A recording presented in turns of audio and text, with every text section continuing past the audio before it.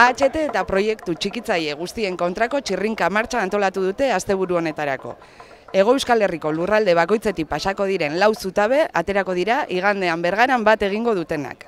Gu, Nafar bezala, Iruñatik aterako den zutabearekin gaude. Zeintzuk dira gure lurraldea mehatxatzen dute proiektu txikitzaileak?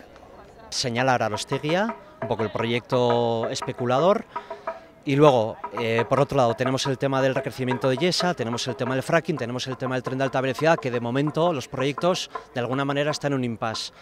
Están en un impasse porque no se están desarrollando, pero siguen ahí, siguen ahí latentes para, bueno, pues cuando en un momento determinado que el, el gobierno de turno quiera, lo sacará otra vez del cajón y volveremos otra vez a las andadas.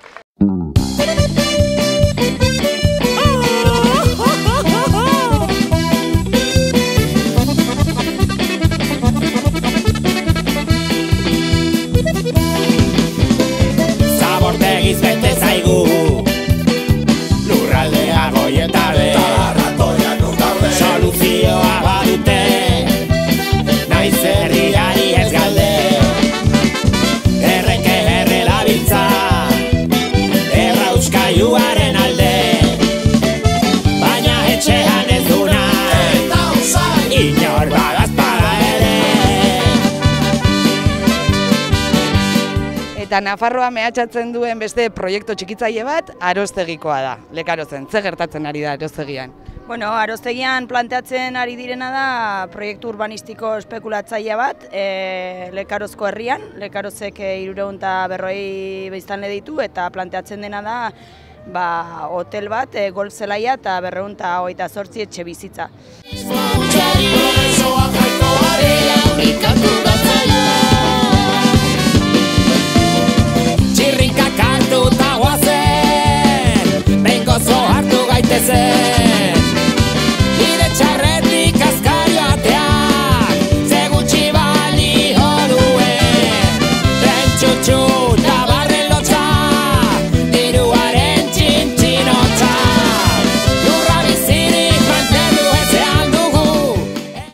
Está pasando con la incineradora?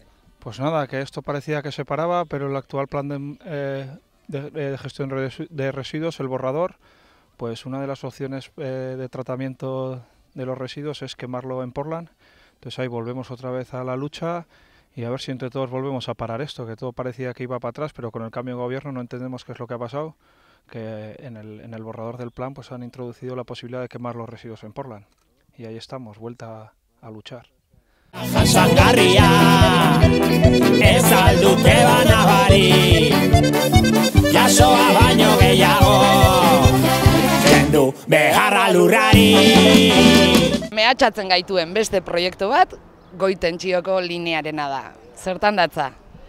Bueno, eh, az- azken momentuan ailegatu dira eh, nahiko berri txarraz, eh, Nafar gobernuak eh, eskatuko omen duen eh, eh, de Casteluko eh, subestazioa berriz ere desagertu zela proiektutik eta berriz ere, berriz ere eta hori suposatzen du ba, onartzea eh, ogoi tensioko linea hau.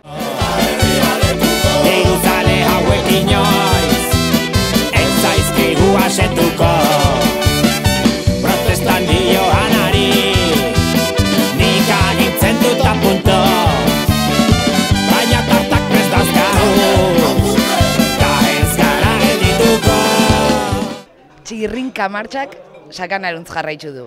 Baina gu, gure sabeleko soinuei jarraituz, irurtzunen gelditu gara bazkaltzen.